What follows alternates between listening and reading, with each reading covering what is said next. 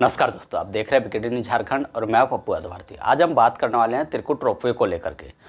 जब से हादसा हुआ तभी से लोग इंतज़ार कर रहे हैं कि त्रिकुट रोपवे दोबारा कब से चालू होगा। और इसको लेकर के झारखंड के अल्पसंख्यक कल्याण, खेलकूद और पर्यटन विभाग के मंत्री हफीजुल हसन ने बड़ा बयान दिया है।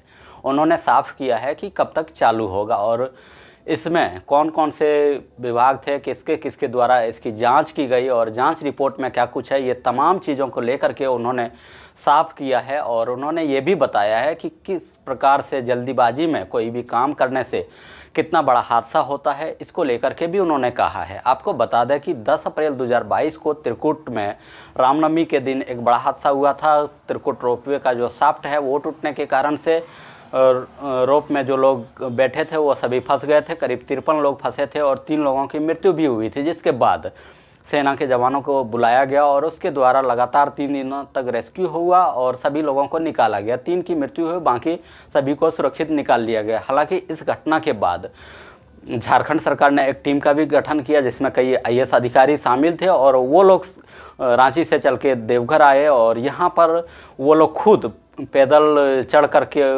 ऊपर चढ़े, करीब पंद्रह सौ फीट ऊंचाई पर वो लोग पैदल चढ़े और वहाँ पर बारीकी से उसका जाँच किया। उसके बाद अब जो है, इसका रास्ता साफ़ हुआ है और किस प्रकार से नए सिरे से रोपवे फिर से चालू होगा और मंत्री ने क्या कुछ कहा है कि जल्दीबाजी में अगर कोई काम किया जाता तो किस प्रकार से हादसा हुआ? उन्होंने गुजरात के मोरबी का उदाहरण देते हुए बताया कि वहाँ पर एक पुल टूटा था और बड़ा हादसा हुआ था। उस पुल को भी जल्दीबाजी में चालू किया गया था। एक कंपनी जो ब्लैक लिस्टेड है, उसे चालू करने का जिम्मा सौंप दिया था, जिसके कारण से वो हादसा हुआ। तो उसी तरह अगर यहाँ भी हम लोग जल्दीबाजी करते हैं तो घटनाएँ हो सकती है तो हम लोग नहीं चाहते हैं कि दोबारा कुछ ऐसा हो।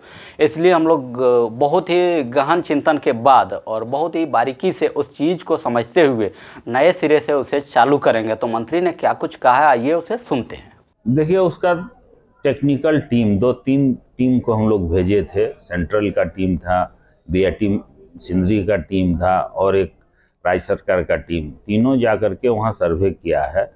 उसका जो लास्ट पॉइंट है जहाँ लास्ट ट्रॉली जो उठता है जो, जो उसका जो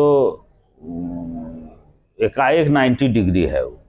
जैसे कि सब बोल रहे हैं तो वहाँ एक पिलर देना है या नया टेक्निक से कुछ करना है कि आगे फिर हादसा नहीं हो क्या? क्यों? एक एकाएक वहाँ लोड पड़ जाने से जिसके चक, चलते वो पुली टूटा और रास्ता गिरा जो इतना बड़ा हादसा हुआ।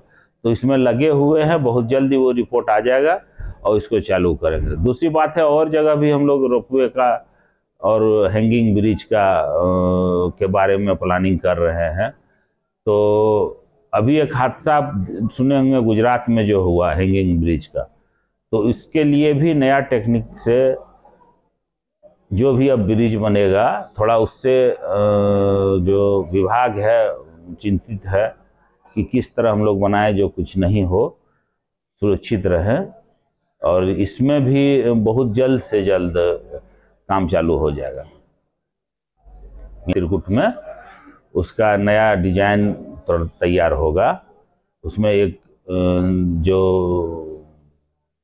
ऊंचाई है, जो, एकाएक जो चढ़ाई पड़ जाता है, उसको कम करने का उपाय टेक्निकल टीम सोच रही कि कैसे उसको, बनाए जो हादसा नहीं हो, जल्द चालू हो जाएगा हो जाए।